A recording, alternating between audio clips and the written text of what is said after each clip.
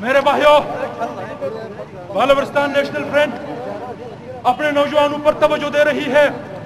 ہم اپنے جوانوں کو جو اسکولوں میں ہیں، یونیورسٹیوں میں ہیں، کالجوں میں ہیں، اچھے کریکٹر کی بات کرنی ہے۔ آپ کو اچھی طرح معلوم ہے کہ پاکستان سرکار کے ساتھ، ریاست کے ساتھ آج جو زیادتی ہو رہی ہے، اس میں باہر کے عوامل کم اور اندر کی کرپشن زیادہ ہے۔ ہماری پوری بیوروکریسی، ہمارے ذمہ دار لوگ، فوجی سے لے کر سول تک، سب کے سب پیٹ پجاری ہے پیٹ پجاری۔ وطن فروش ہے اور دھرتی کے نہیں ہے۔ میرے بھائیوں اس علاقے کے اندر سب سے زیادہ عبادت کی جاتی ہے۔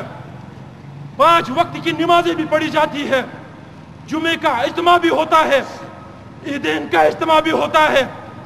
ماتم کا سب سے بڑا جلوس بھی یہاں نکلتا ہے۔ تبلیغ میں بھی لوگوں کا بہت زیادہ زور ہے۔ اور اسماعیلی چاند رات کو سال میں بارہ مرتبہ جمع بھی ہوتے ہیں۔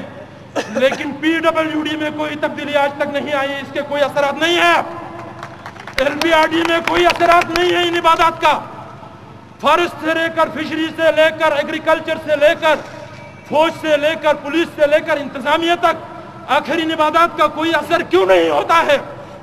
نماز بے حیائی سے روکتی ہے۔ تو کوئی صرف کپڑے اتارنے کا نام بے حیائی ہے یا جو کچھ ہمارے دفتروں میں ہو رہا ہے، یہ بھی بے حیائی ہے۔ ہم مستقبل کو یہ دیکھنا نہیں چاہتے۔ روزہ انسان کو متقی بنا دیتی ہے۔ متقی کا مطلب اس جگہ پر نشان بنا کے یا لباس اور کرتا اور شلوار سے پتہ چلے گا، یا ساتھ بیٹھنے والوں کے ساتھ آپ کے رویے سے متقی کا پتہ چلے گا۔ ہم کتنے پروردگار کے مخلوق کے حق میں ہے کون سی ایسی بات ہے؟ ہمیں سوچنا پڑے گا کہ خدا پروردگار کافروں کی مدد کر رہا ان دنوں میں، مسلمانوں کی نہیں کر رہا، اس کے اندر انصاف ہے۔ وہاں صوبیداروں اور جرنیلوں کے بیٹ مین نہیں ہے، وہاں وزیر اعظم، وزیر، سیکرٹری ڈائریکٹر کے کوئی چپڑاسی نہیں ہے۔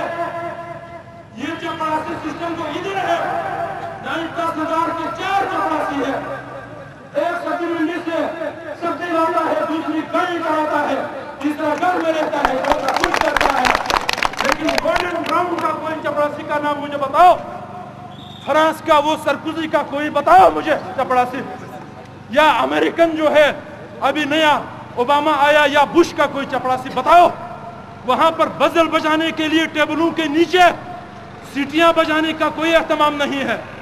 اپنا فائل خود اٹھانا ہے، اپنی چائے خود بنانی ہے، اپنا کام خود کرنا ہے۔ آپ بتاؤ، یہ تعلیمات حضور پر نور حضرت محمد صلی اللہ علیہ وآلہ وسلم کے تھے یا یہ تعلیمات انگریزوں کے تھے؟ ہم کس طرف جا رہے ہیں؟ کوئی ایک کسی ایک دفتر میں ہوتا ہے، پوری فیملی کی لائن لگ جاتی ہے نوکریوں کے لیے، نوکریوں کی۔ کوئی ایک آدمی کو موقع ملتا ہے، پوری فیملی کو اٹھاتا ہے۔ اکربا پروری کی انتہا۔ کیا اس طرح ملک چلتے ہیں؟ ہم پنجابی اور پٹھان کے خلاف یہاں باتیں کرتے ہیں۔ آپ مجھے بتاؤ کہ ہم میں کتنی اہلیت ہے؟ ناردرن ایریا کونسل میں کتنے پٹھان پنجابی بیٹھے ہیں؟ آپ کے سات ڈسٹرکٹ کونسلوں میں کتنے پنجابی اور پٹھان بیٹھے ہیں؟ آپ کی میونسپل کمیٹی اور یونین کونسلوں میں کتنے غیر مقامی لوگ ہیں؟ یہ تو اپنے ہیں اور کرپشن کے خاص اڑے بھی یہ ہے آپ مجھے بتاؤ کہ اس ایسی صورت میں ہم آزادی لے کے کیا کریں؟ باقی لوگوں کو یہاں سے بیچ کے کیا کریں؟ کیپیبلٹی پیدا کرے اہلیت پیدا کرے پروردگار کسی کو حسن دینے میں کنجوسی نہیں کرتے۔ دولت دینے میں کنجوسی نہیں کرتے، صحت دینے میں بھی کنجوسی نہیں کرتے۔ اقتدار میں کنجوسی ہے قدرت کی طرف سے۔ کیوں؟ اقتدار کا براہ راست تعلق عدل سے ہے اور عدل معاشرے کی بنیاد ہے۔ اور جب ہم عدل نہیں کر سکتے ہیں، ہم کچھ بھی نہیں کر سکتے۔ سورج اور زمین کے درمیان تعلق عدل کی وجہ سے ہے۔ ورنہ یہ آپس میں ٹکرائیں گے تو ہم کہاں رہیں گے یہاں؟ مختلف سیاروں اور سیارچوں کے درمیان عدل کی بنیاد پر ہے۔ ہمارے اور آپ کے درمیان تعلقات بھی عدل پر ہے جب یہاں گڑبڑ ہوگا اور جب یہاں گڑبڑ ہوگا، یہاں پر جو کچھ بھی لوگ اٹھ کے بغاوت کریں گے، تو ضرور میں ان کا شکار ہونا پڑا ہوگا۔